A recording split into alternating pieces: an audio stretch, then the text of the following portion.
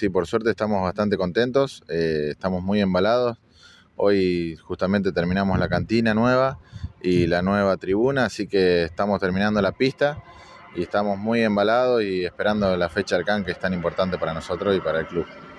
Finalmente llegaron con las horas que tenían previstas y bueno, me imagino que la alegría, porque bueno, han trabajado muchísimo y vemos mucha gente que está trabajando incluso todavía ahora.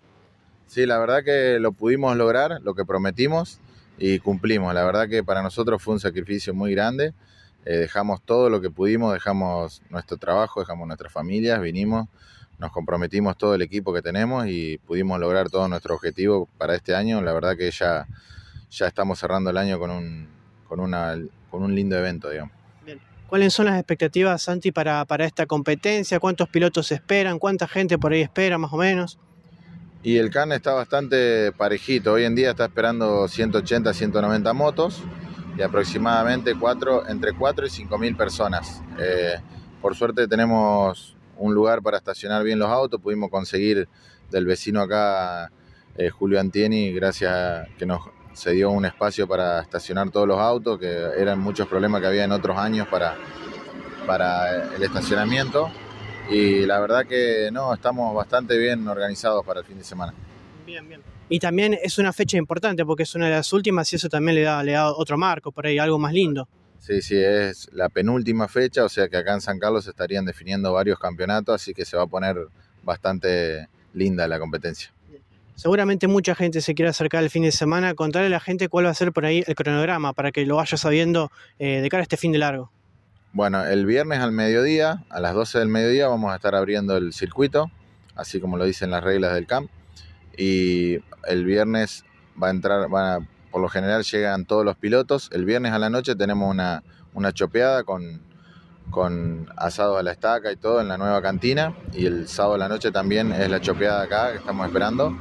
Y bueno, el sábado son todas las pruebas y clasificaciones y el domingo series y finales. ¿A partir de qué hora abre el fin de semana para, para la gente que quiera ver las competencias? El circuito va a estar abierto a partir del viernes a, a las 12 del mediodía. De ahí en adelante van a poder ingresar eh, la gente con un costo de la entrada de 1.500 pesos. Eh, eso es para todo el fin de semana, digamos, los, tres, los dos días de, del evento. ¿Y las entradas se adquieren únicamente en puerta? Sí, únicamente en puerta, exactamente, sí. Bien, bien.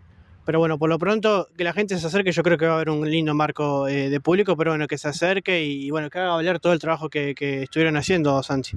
La verdad que sí, invitamos a todas las, personas de la zona, de San Carlos y de la zona, que vengan a disfrutar. La verdad que estuvimos trabajando mucho para darle un mejor servicio. Vamos a tener abiertas las tres cantinas, la cantina del lado de la ruta, la cantina del lado norte y la nueva cantina Así que como club, la verdad que estamos un paso adelante porque en, la mayoría de los clubes hay una sola cantina, acá nosotros vamos a tener tres cantinas para que la gente pueda caminar lo menos posible y disfrutar de una cerveza, de un choripán, una hamburguesa, que lo vamos a estar esperando.